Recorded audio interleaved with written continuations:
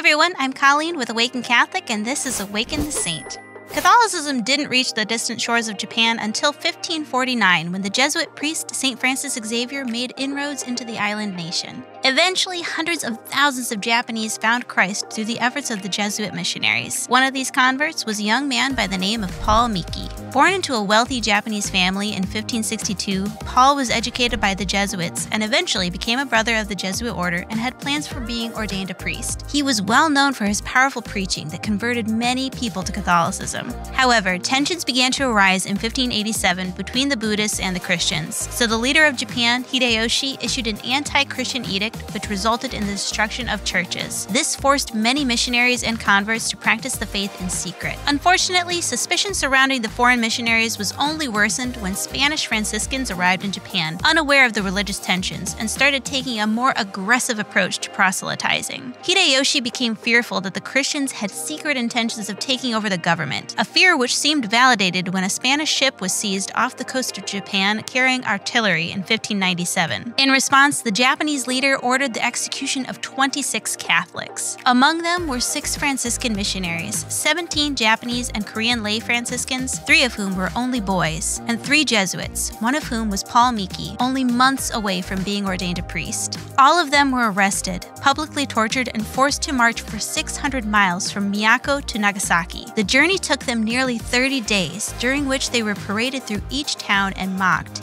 in an effort to dissuade others from converting to Christianity. But these courageous men encouraged each other through singing spiritual hymns of praise and preached to the people along the way. When they reached Nagasaki, which was the center for Christianity in Japan at the time, they were mercifully permitted to go to confession before their execution. Then they were each bound to a cross upon the hill now known as the Holy Mountain, overlooking the city. Each man expressed their love for Christ even as they were being martyred. Paul Miki gave his last sermon to those who were gathered to witness their execution, proclaiming, the only reason for me being killed is that I have taught the doctrine of Christ. I thank God it is for this reason that I die. I believe that I am telling the truth before I die. After Christ's example, I forgive my persecutors. I do not hate them. I ask God to have pity on all, and I hope my blood will fall on my fellow men as a fruitful rain. Each martyr was then pierced with a lance while chained to their cross, and in this way entered the heavenly kingdom.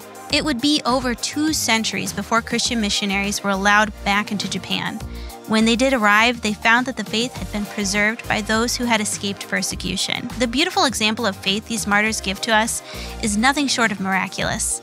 I pray that we all come to such confidence in Christ that we too can pray for the salvation of those who persecute us with love and genuine faith. St. Paul Miki and companions, pray for us.